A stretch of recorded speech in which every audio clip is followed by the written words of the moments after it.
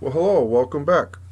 To all my loyal subscribers, thanks for tuning in, and I hope everyone's doing well out there. Now, it's a Wednesday, 80 degrees out, and uh, me and my friend Richard are fishing tied up over in Pirates Cove, having a couple of beers, enjoying the beautiful sunshine, and uh, having a good time. Now, the water's still cold. My girlfriend won't come out until the water gets a little warmer. She has a jet ski once that goes in, you'll see her, even though she's a little camera shy, she really doesn't want to be in any of my videos. So I took off, flew it up a little ways, and then uh, flew it over by my sailboat just to get a look at it. I've never seen a sailboat from above it, and uh, it's a really nice sight to see. I hope you enjoy it. Now I'm over by uh, Scout Island over here and I'm about to take it back around the bay back to uh, Pirates Cove where we're sitting back trying to catch some fish. We're not really having much luck but we are having a good time and that's the main thing.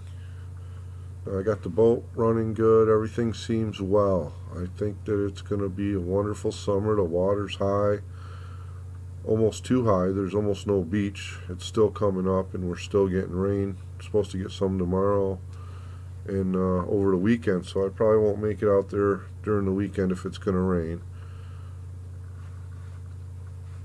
And I figured I'd just take a little flight over some of the bigger boats coming through the channel here. This is the channel by uh, by over by Scout Island in between Pirates Cove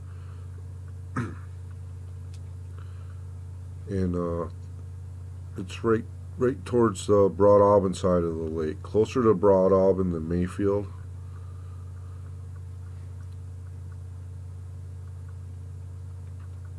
And that island right there is uh, is the main island of Pirates Cove. It's the smallest one, but it's the one with the swing set.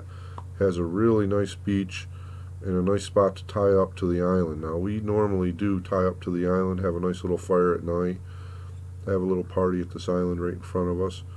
And there's a little rope swing on that island, and it drops off really fast.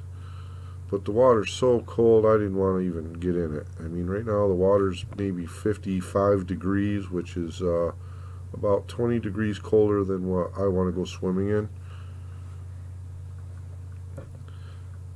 And it was an absolutely gorgeous day 80 degrees sun blazing and uh, a couple fish were biting but uh, nothing to brag about or take a picture of so uh, it was a good time and I thank you guys for watching. I hope you enjoyed the video and uh, I hope you enjoyed the narration.